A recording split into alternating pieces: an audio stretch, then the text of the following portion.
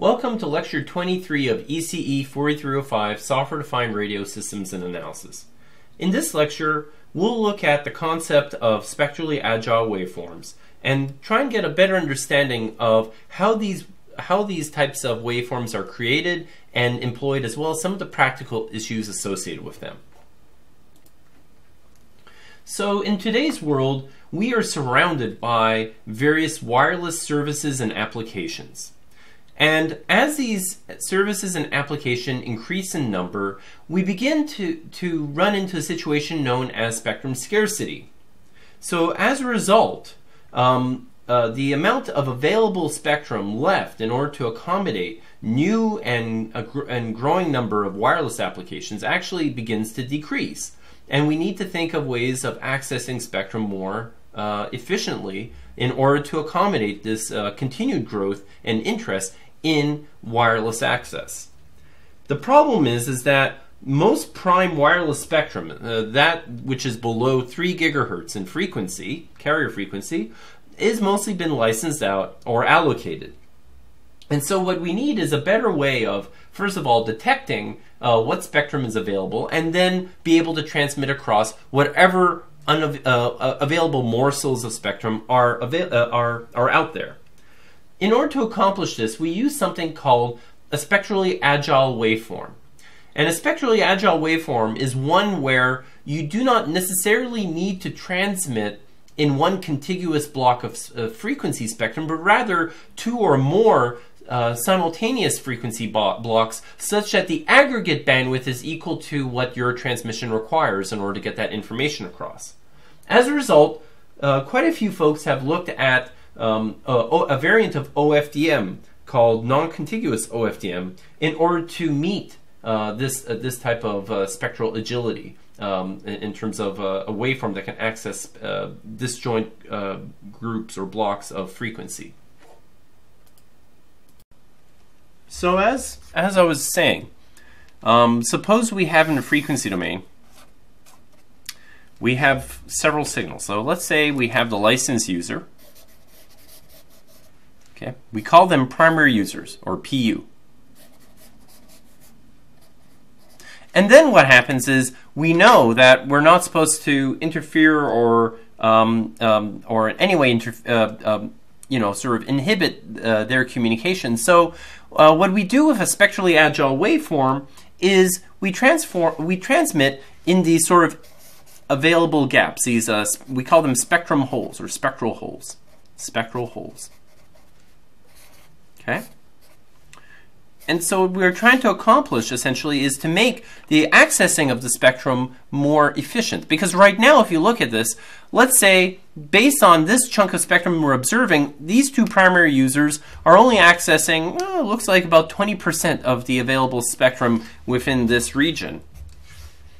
When, and, and, and the problem is current uh, spectrum regulations indicate that um, these primary users, these license users, uh, have exclusive access to that spectrum, which is it is a problem because that means they're not really maximally using that spectrum. So what happens if you set up some framework where the primary user's rights are respected? You're not supposed to interfere with them, but other users with approved technology by some sort of uh, federal regulator is allowed to sort of occupy the un, uh, the, the available portions of the spectrum. So let's say I have this guy, this guy, let's say he's another user.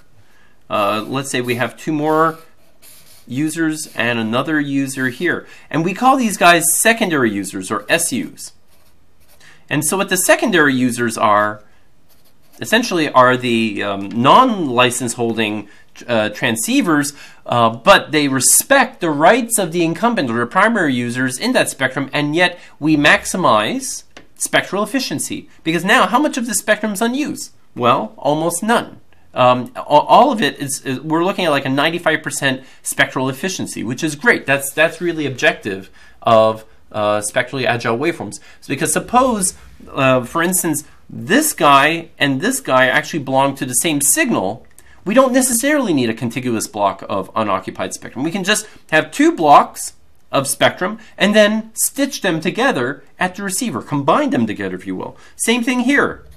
This guy and this guy and this guy and this guy, they might all be just like transmitting in sort of these different blocks, but they're all the same signal, just demultiplex. Uh, the data is demultiplexed into those separate frequencies, but we reintegrate them back at the receiver.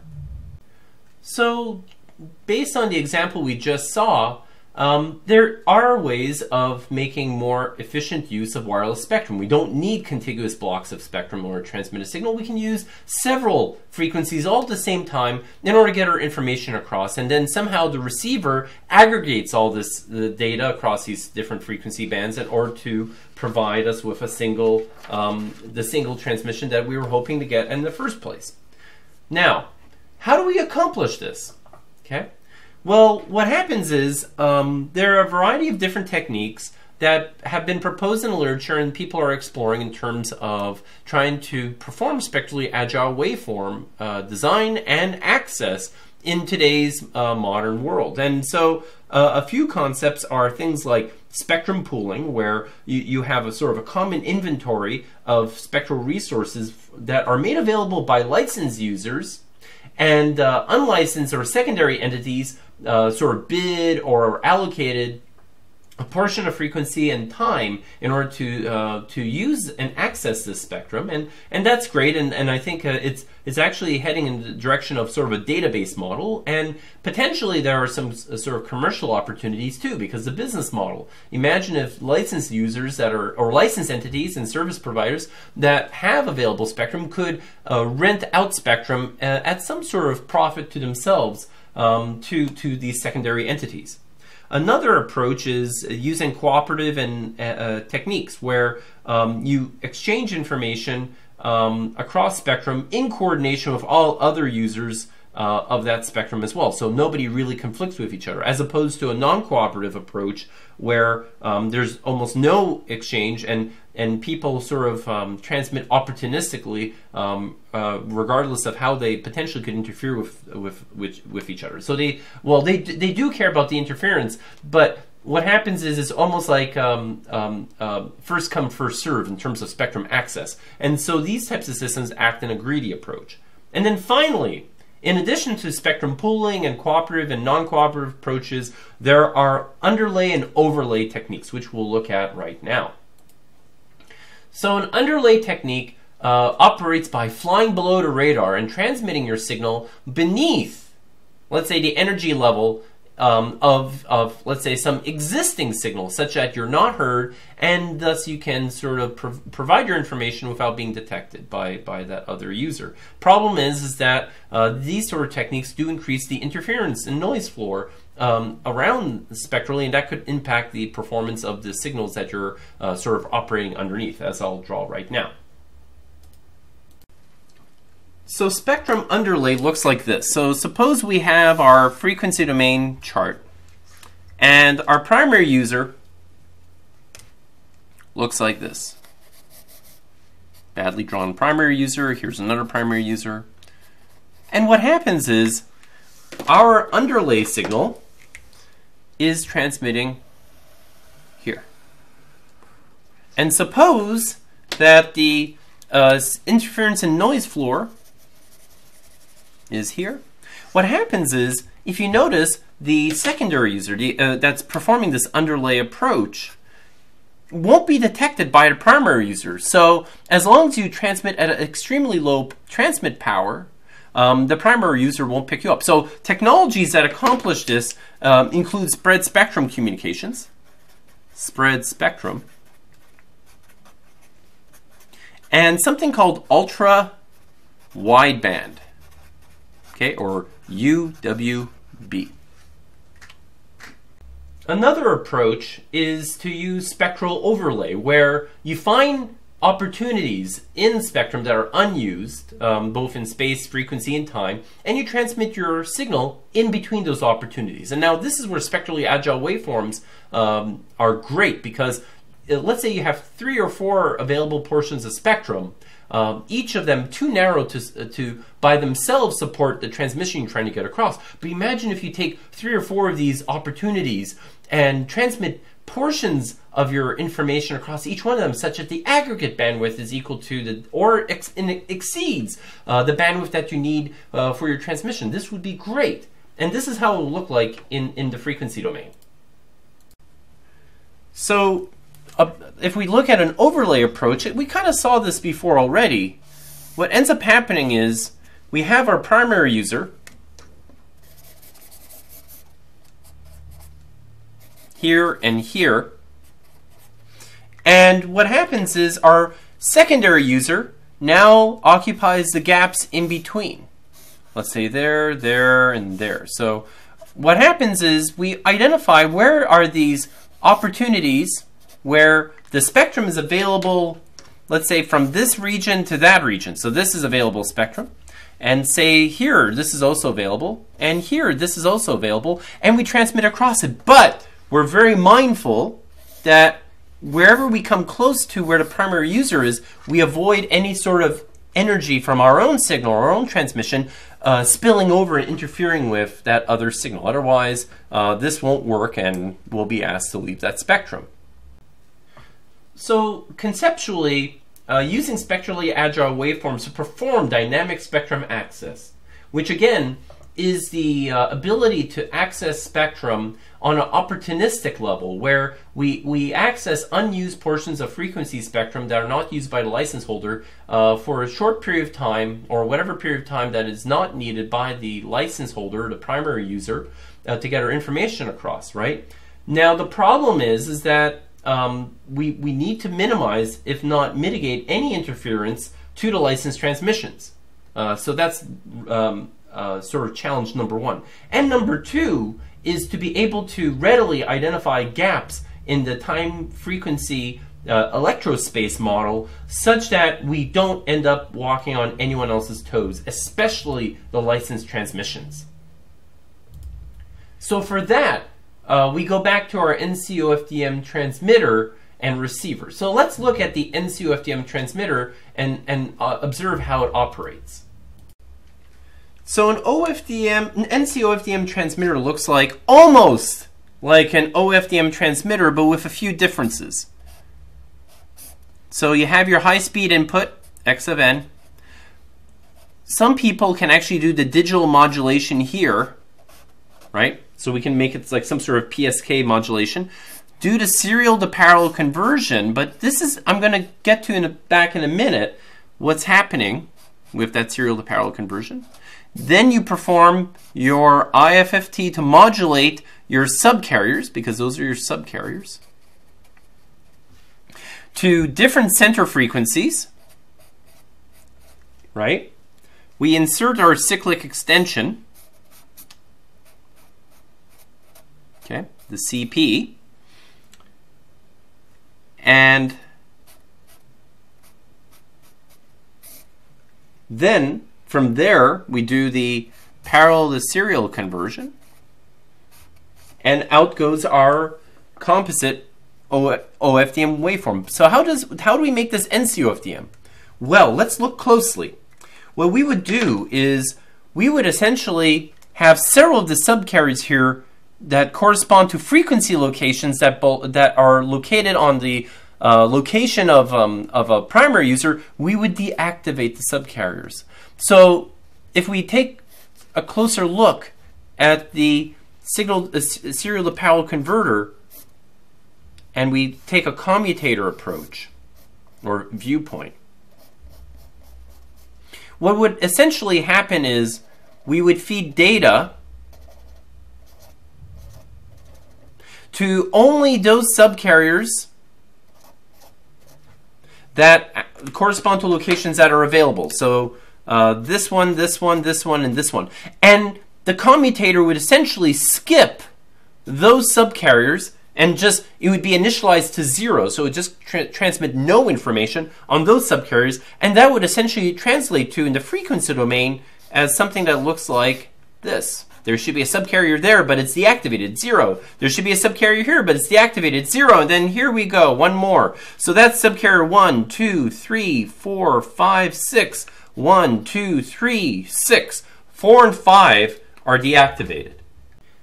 And now let's look at the NCOFDM receiver, which is supposed to detect the locations of where these uh, groupings of active subcarriers are in the frequency domain and properly decode and, and, and combine them back into and reconstruct the original uh, high speed data input that was fed at the transmitter.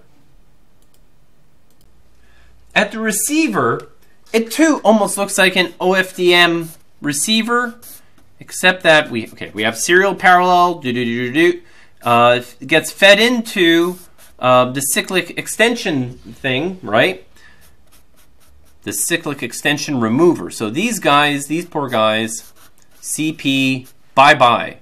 And these remaining guys, if there are n of them, go into the FFT to be demodulated, the subcarriers, to baseband frequencies. And then we have a commutator here, our uh, parallel serial converter that makes it into a single high speed stream X hat of n. Now, what happens is, um, just as before, we need some sort of advanced information to tell us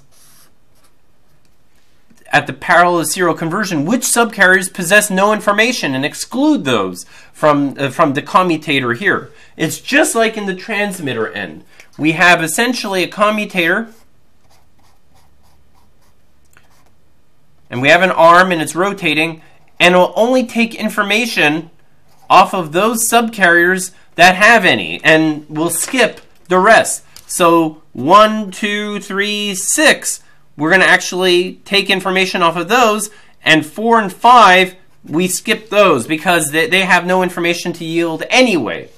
And that way, we can actually transmit non-contiguous information down several groups of subcarriers um, and sort of deactivate those subcarriers that are potentially going to interfere with uh, other signals, especially licensed or primary user signals um, in, in this manner. Now, the problem with um, NCOFDM is that in the frequency domain, its pulse shapes for each subcarrier is a sinc pulse, which means that it has very high out of band or OOB interference levels. And this could be a problem if you're transmitting in approximate proximity to other signals, especially license signals, which we're not supposed to interfere with. So let's let's look at this graphically and how this could be potentially a problem. So remember what I was saying about uh, OFDM and NCOFDM having spectral, the subcarriers having spectral signatures that uh, or characteristics that look like sinc pulses. So let's look at that more carefully. So uh, let's say the magnitude squared of a sinc pulse looks like this, right? And this is what we're worried about, is these side lobes. So this is what we refer to as side lobes. And so what happens is, suppose you have a, a license signal. So this is your band that you're allocated transmit. So that's available. But suppose now you have um, a primary user that's there. The problem is all of this. This could cause OOB interference.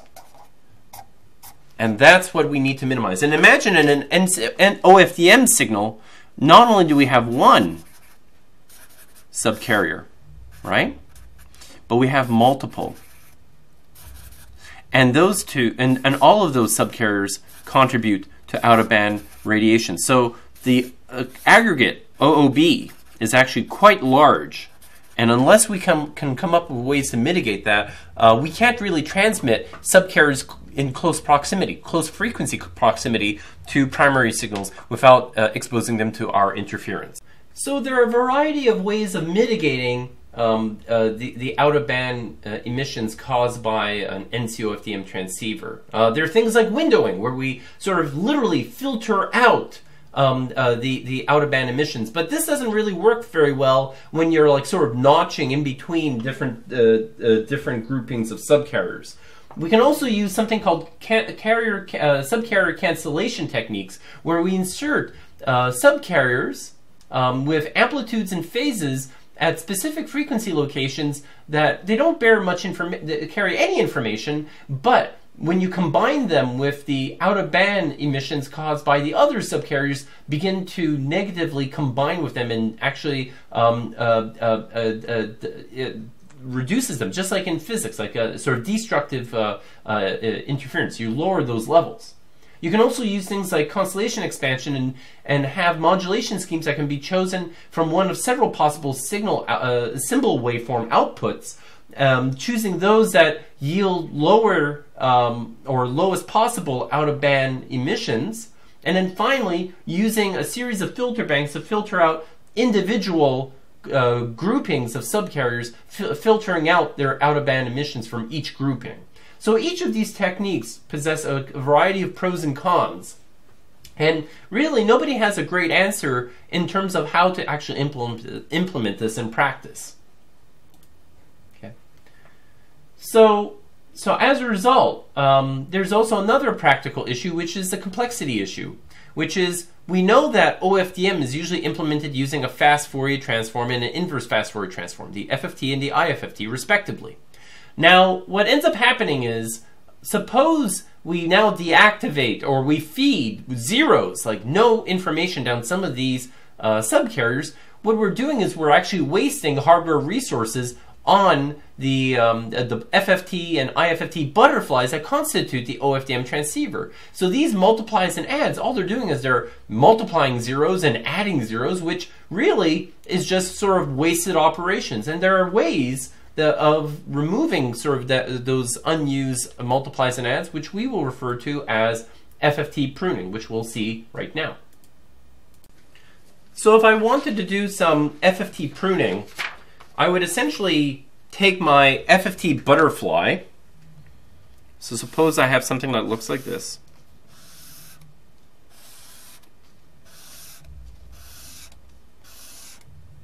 Okay.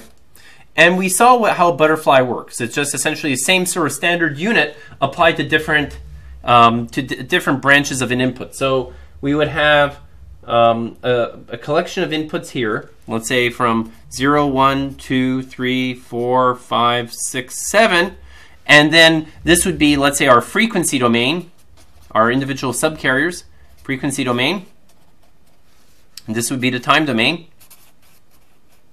Okay, and what would happen is I would take the butterfly, and uh, I would uh, send it and feed it into an adder here and then likewise, I would take here a guy and feed it into an adder there.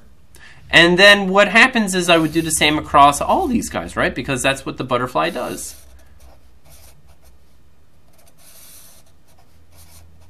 Right? And then likewise, same operation at this end. Now, you can imagine, like, it, what we might also do is then we do a multiply, right? Depending on what if it's a decimation frequency or decimation in time FFT, we would multiply by some sort of weight and then move on to the next stage, which could be something that looks like this. Right? Add, add, add, add. And then same thing here.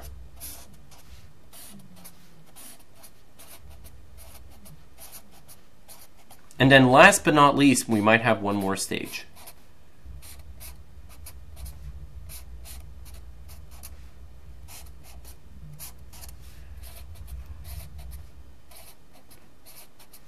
Now, this is going to be fun because now suppose some of the inputs are zero. Suppose this is zero as an input, right? And suppose that this is an input of 0, as well as this guy and this guy.